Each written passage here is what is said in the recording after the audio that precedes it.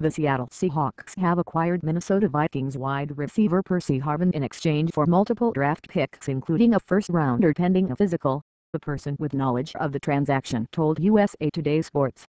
The person spoke on the condition of anonymity because the move had not been announced by either team. Harvin, entering the final year of his rookie contract, gives Seattle and rising sophomore quarterback Russell Wilson another formidable target opposite Sidney Rice.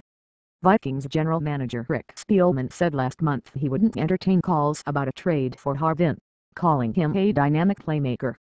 But the wideout, who spent the second half of the season on injured reserve with a sprained ankle and had a testy exchange with coach Leslie Frazier while rehabbing, received the trade he initially requested last summer. When news of the trade broke, outspoken Seahawks cornerback Richard Sherman took to Twitter Monday to remind everyone who the only number 12 is in Seattle. The number 12 was retired by the team to honor its 12-man fan base. Other Seahawks chimed in with excitement over the news. Tweeted wide receiver Doug Baldwin, Oh snap we getting Percy. Ha ha. We getting better by the minute. Harvin, 24, caught 62 passes for 677 yards in 9 games for the Vikings last season and was in the early MVP conversation before spraining his ankle.